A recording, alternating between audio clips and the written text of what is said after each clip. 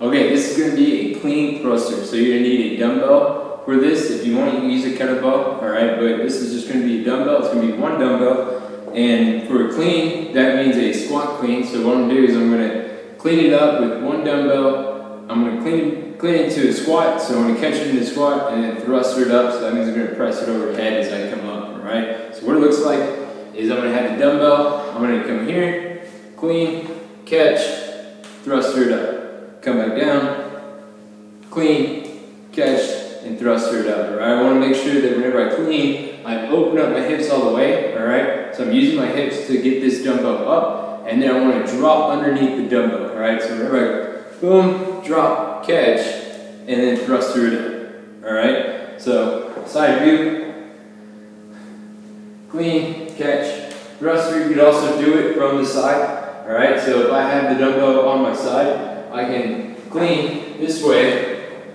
and thruster it up. Right? I still want to do that dip, so I want to dip, and I still want to thruster or explode up. So open up my hips first, and then drop underneath the dumbbell. So from right here, I'm going to go down, and then thruster it up. All right.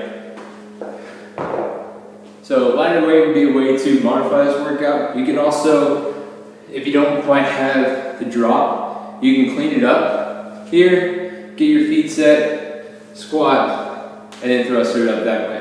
All right, that can be a way for you to modify this exercise.